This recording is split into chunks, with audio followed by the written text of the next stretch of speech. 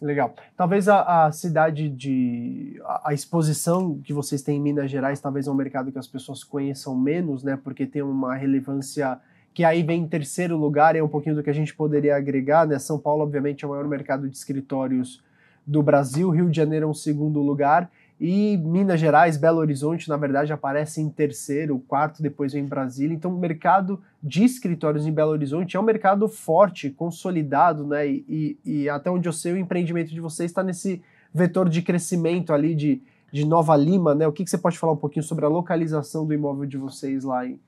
Fernando, acho que você matou, você colocou bem, né? Nós estamos Nova Lima, continuação do que seria o bairro do Belvedere, né, onde tem todo o crescimento, hoje um crescimento residencial fantástico, né, os melhores empreendimentos residenciais estão naquela região, os maiores valores estão sendo alcançados já naquela região, então você tem todo um crescimento muito grande. Acho que esse é o primeiro ponto.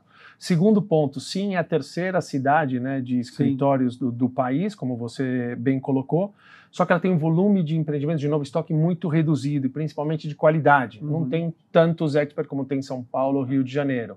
Então, tem uma carência de qualidade muito grande. E o terceiro ponto, que talvez seja o mais importante, ele é um prédio ocupado pela Vale, foi projetado para a Vale, ao lado de uma área muito grande da Vale, que ela quer fazer um grande desenvolvimento imobiliário ao longo do tempo.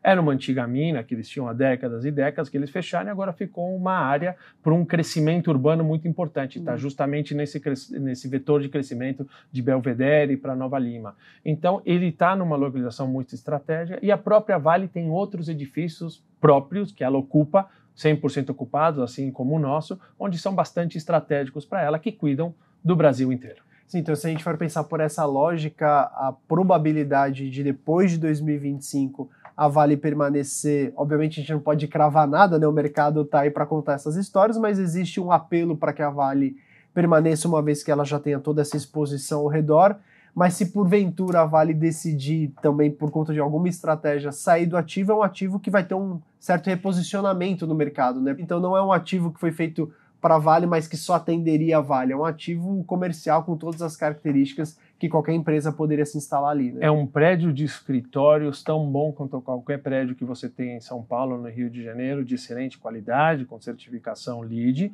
e ele atende todos e o mercado está crescendo a probabilidade, em nossa opinião, né, de uma Vale Via renovar esse contrato é bastante alta. Né? Ela está ali, está acostumada, tem mais áreas, está operando, então acho que é bastante alta. Mas nós não analisamos os empreendimentos com o ocupante atual. A gente sempre analisa, bom, esse empreendimento, vou ter liquidez futura se eu não tiver esse inquilino? E a resposta é sim, pelo motivo que você falou. Como está crescendo, como tem uma carência desses edifícios de boa qualidade, é provável que se ela não renovar, a gente consiga, assim, encontrar outros inquilinos para ocupar essas suas áreas. E aí pode ser um único inquilino, podem ser vários inquilinos, uma vez que o prédio é super flexível, ele pode ocupar tanto um único ocupante, como ele pode ser para multi-inquilinos.